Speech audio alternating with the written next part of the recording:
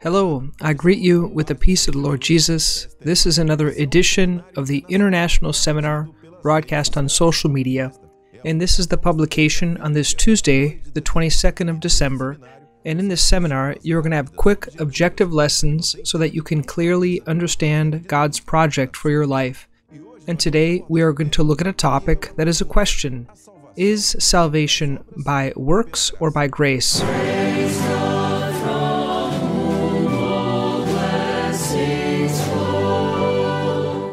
As we are talking about the theme about salvation by grace through faith, against this, that salvation is by works, I would like to share with you a few biblical texts that will help you to meditate and conclude about this important topic.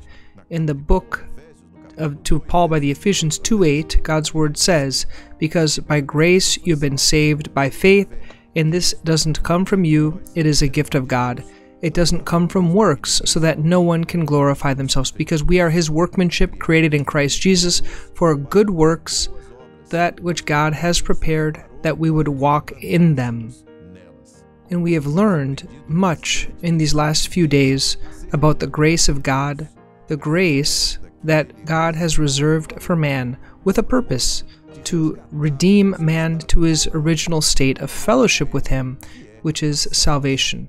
And the Word affirms that we are saved by grace by faith, and we can understand in a clear way that this faith is the vehicle that God uses to guide man to an experience with Him, revealing Jesus as the only and sufficient Savior, and allowing man to be dependent on God every day.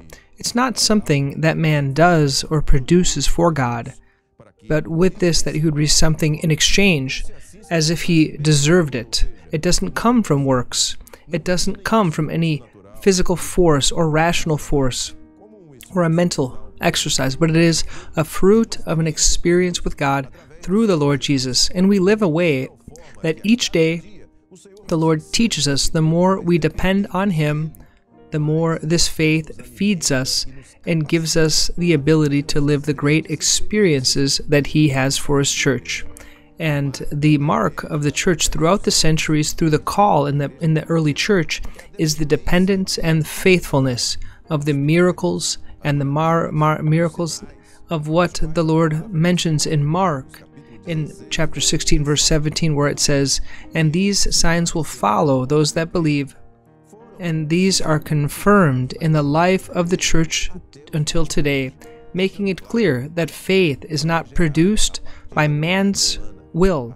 It is a, a generating force, and its origin is not here on earth or rational or dependent on any other human activity or strength. It comes from eternity.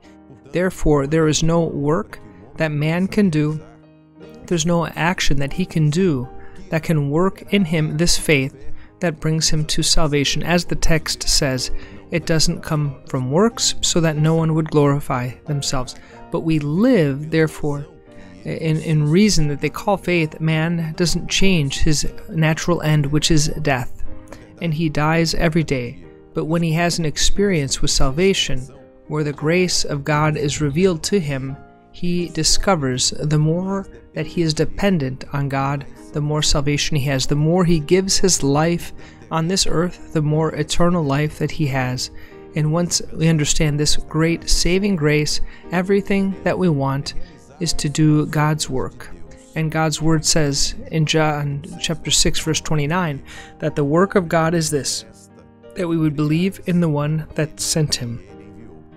We can conclude therefore saying that the work of man is to do his own will in the name of God even, but God's work is to only believe and therefore we do this work, this work that he determines. Once again, by grace or rather, by the unmerited favor, we are saved. And in the next edition on Friday, we are going to give continuity to this topic and see how this salvation works in your life when man discovers what God has done for him. This reflection was written by Pastor, Pastor Walter Babu in Rio de Janeiro. To all, peace of the Lord Jesus.